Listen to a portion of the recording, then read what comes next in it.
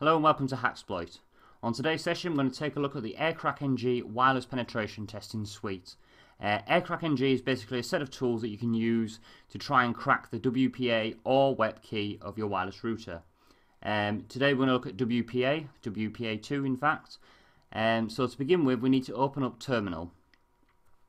The first thing to check is that your wireless uh, access card is available, or wireless network card even is available. So just type in airmon-ng. This will now show you your interfaces uh, for your wireless network. So obviously for myself it's WLAN 0. So now we've got that, the next thing we need to do is type in airmon-ng again. But this time we're going to type start WLAN 0.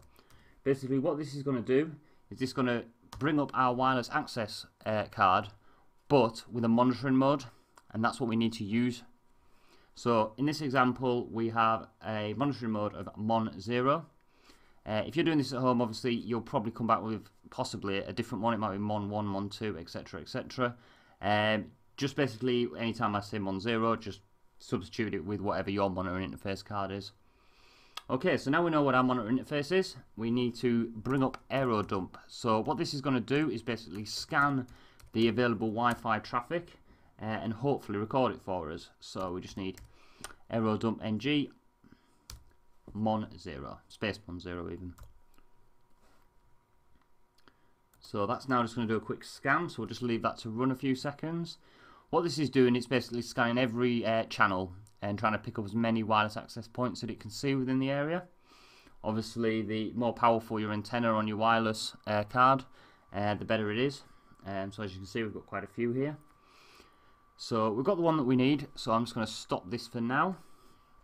So the wireless access point that we're going to target today is this one right here, which is a Hacksploit Wi-Fi. Uh, obviously, when you're doing this, make sure that you're only doing it against an authorized network. Um, so if you your own or somebody who said it's okay for you to attempt this on their network, don't be attempting to obviously break into somebody else's network as that's obviously illegal. Okay, so the first things we need to uh, sort of remember and, and, get hold of is the BSS ID and the channel in which the uh, wireless network is running on. Okay, so what we're going to do now is we're going to run AeroDump again, but this time we're just going to focus on the channel that we want to. So we're going to put aerodump-ng. Um, we're going to specify which channel we want. So we want in channel 5. Um, the next thing we're going to do is we're going to put in the BSS ID. Um, so dash dash BSS ID. You can just do dash B as well. Um, and then we're just going to copy this little bit of information here.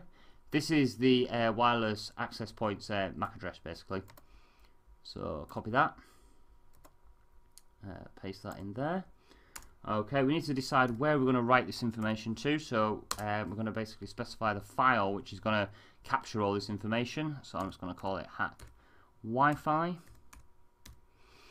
And then our monitoring interface, which is mon0. And just press return. Okay, so that's now running in the background. And basically what that's going to do is just going to monitor all the traffic on this network. So on exploit Wi-Fi. Okay, so the next thing that we need to do, we need to capture the WPA handshake. And the way we're going to do that is we're going to force this client to re-authenticate with the router. So how do we go about doing that? Okay, so what we need to do is we need to open up a new tab um, like this. And we're going to run another attack against the client this time. Um, and it comes part of the uh, AirCrack-NG suite. And we're going to use the tool AirPlay.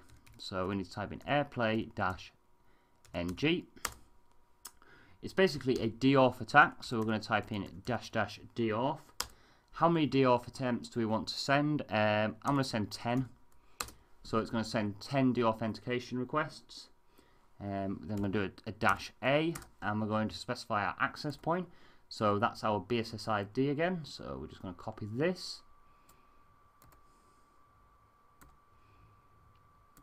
And pop that over there. The next thing we need to do is we need to now choose the client that we're attack attacking. So we do a dash C for the client and it's going to be this one here.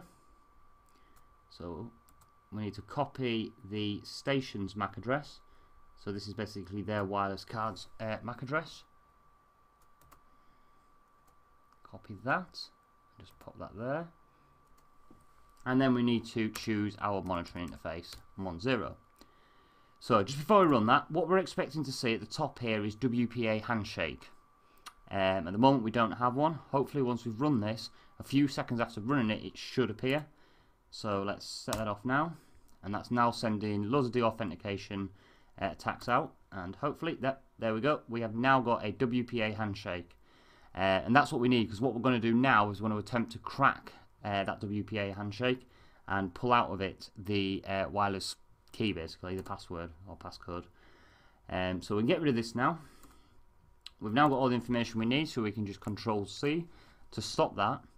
At this point now you could actually go away and run this onto another system if you wanted to do the air cracking bit.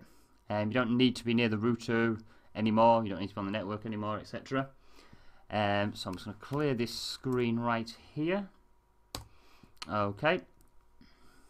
So let's have a quick look at what files that's just created. So it's created a few different little files here for us. Uh, the one we're interested in is this one here, hack wi-fi-01.cap. Um, that's the one that contains the uh, WPA handshake in it. So what we're going to do now is we're going to attempt to crack it with a piece of software called aircrack-ng. Uh, we're going to use a dictionary attack for this. Uh, what a dictionary attack is, is basically it's a text file with loads and loads of different words. I mean, the one that I'm going to use is actually a Windows 7 one to use against a Windows 7 system. Um, but you could create your own one, or you can download them online specifically for wireless uh, access points. Um, so to begin with, we're going to type aircrack-ng, and then we're going to specify that dictionary file that we're wanting. So mine is actually on my desktop. So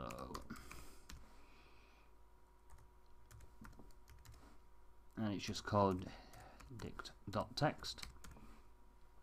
Okay. The next thing we're going to specify is the uh, BSSID that we're going against. Isn't that one. Oh, do you know what? I've cancelled it off as well. Two seconds, let me just find the, uh, the BSSID again. Note to self, always put this down in a separate text file.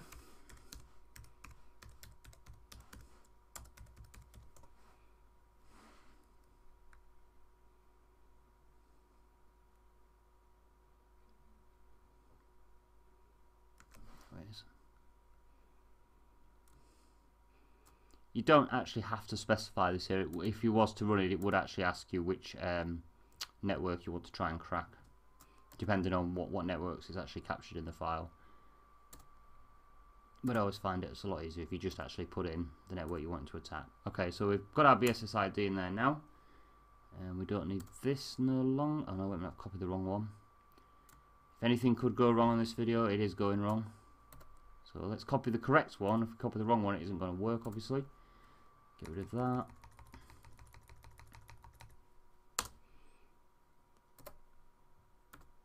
Okay, so that's the right one. Uh, and then at the end, we just need to put in that cap file. So HAK, Wi Wi-Fi, uh, dash zero one dot cap. And hopefully that should be all right. Yep, that looks right to me. So just press return. And that's now going to start running through the keys. And hopefully in a second, it should pull back my wireless access point key.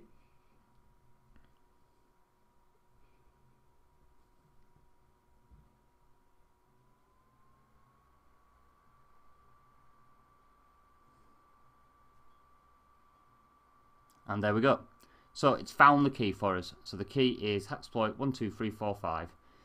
Obviously this this router is just a test one I've made up. I'd hope if you if it's your home router, yours is a little bit more secure than this. Um, but yep, what it's found from that handshake, uh, basically it's found the key from us by trying to break the hash of it.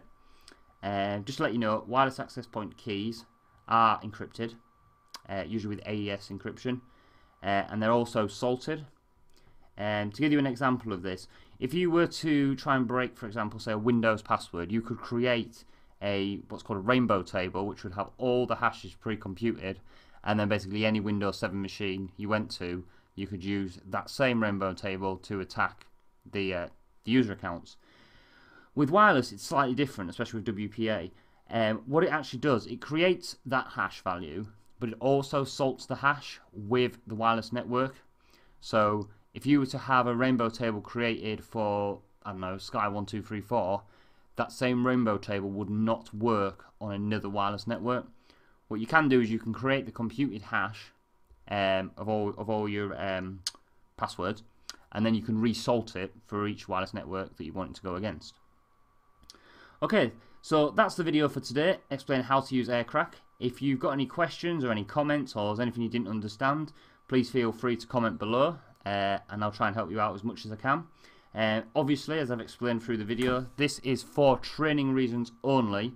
Uh, don't be trying to hack into somebody else's wireless uh, network point. Uh, obviously, just do it on your own or with permission from whoever owns the access point. Thank you for joining us. Remember to like and subscribe to us, and we'll be coming up with a new video very soon. Thank you very much.